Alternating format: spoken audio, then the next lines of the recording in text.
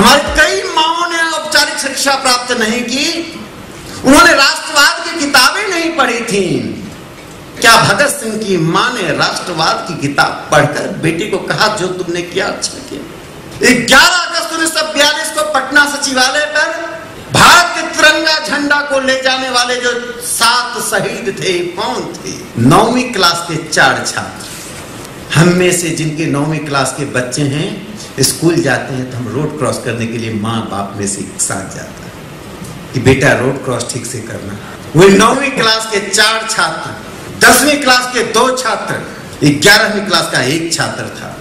सातों एक से एक झंडा लेते गए। विलियम मार्चर नाम का डिस्ट्रिक्ट कलेक्टर था। उसने कहा danger to imperialism her majesty की सरकार के लिए नौवीं छात्र का, नौवीं क्लास का छात्र खतरा बन गया था। वो ध्वज खतरा था। वो नौवीं क्लास का छात्र नहीं, वो तिरंगा झंडा नहीं, उसके पीछे देश के तब के तैतीस करोड़ लोगों की ताकत थी। सातों छात्र शहीद हुए, लेकिन झंडा नीचे नहीं गया। झंडा उस मंजिल पर गया, उस सचिवालय पर गया। डिस्ट्रिक्ट कलेक्टर की गोली उस झंडे को नीचे झुक नहीं झुका आखिर वो तिरंगा, अरे अमेरिका का झंडा कारण हो सकता है डोरमेट बना सकते हैं भारत का तिरंगा कपड़ा नहीं है।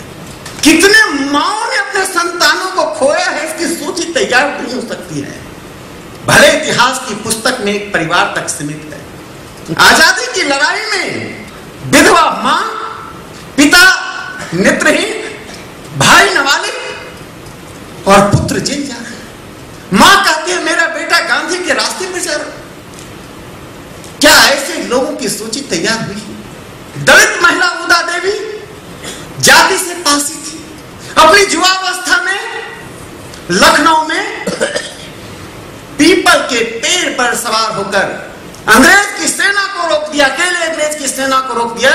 गोली खाने के बाद जब नीचे नहीं गिर पाई तो पेड़ में आग लगाना पड़ा। उनकी शहादत होने के बाद भी कोई अंग्रेज़ पुलिस उनके नज़दीक जाने को तैयार नहीं था। यह है इतिहास। इसने बनाया भारत को। संविधान के 250 पृष्ठों से भारत नहीं बना है। संविधान में लिख देने से भारत पंथ निरपेक्ष नहीं हुआ है। संविधान में तो पाकिस्तान ने भी पंथ निरपेक्ष लिखा था। विभाजन के बाद तो जिन्ना ने भी पहला भाषण नहीं दिया था। हमें पंथ निरपेक्षता चाहिए। रोपे पेड़ बबूल का आम कहाँ से? खून से सना हुआ हाथ, दांतों में लगा हुआ खून। और वो व्यक्ति पंथ निरपेक्षता की बात ये हिंदुस्तान क्या है, मर्द सेन जी, आप सुन लीजिए।